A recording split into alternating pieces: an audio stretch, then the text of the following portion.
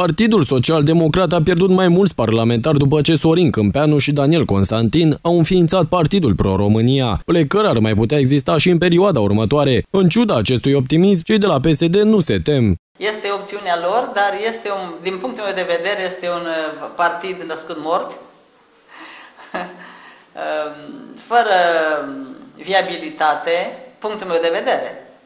Fără viabilitate, nu văd oameni alergând din PSD spre acest partid și nici nu cred că vor fi. Ehm, poate foarte puțini. Întotdeauna există oameni care trec dintr-o parte în alta în dorin, din dorința de a obține anumite funcții, bineînțeles.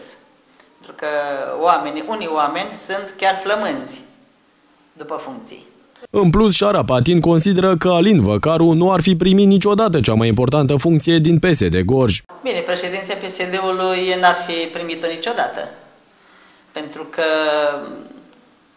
ai nevoie de anumite calități și PSD-ul este un partid prea mare, prea pretențios la Gorj. La Gorj, deci știți foarte bine, Partidul Social Democrat și în urmă cu mulți ani, ce președinți a avut, a fost foarte bine condus, oamenii au fost foarte bine pregătiți. Din organizația de la Gorj au plecat doi deputați la Partidul Pro-România, Alin Văcaru și Victor Ponta.